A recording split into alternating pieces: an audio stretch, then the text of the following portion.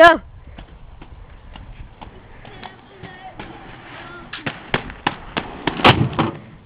Oh my god. Oh my god. That is one bike.